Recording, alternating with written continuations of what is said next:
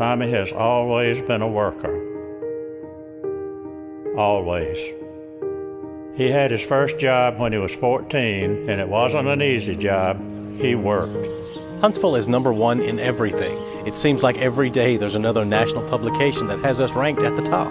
I've worked with leaders all across our state. I've been to cities all across our state. But Huntsville's special.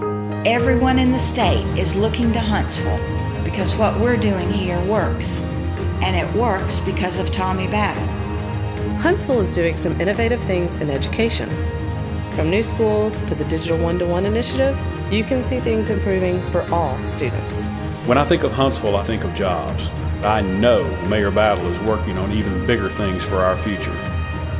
I'm Tommy Battle, and I'm honored to serve as Huntsville's mayor. I'm running for mayor to keep working for you and to keep working for your future.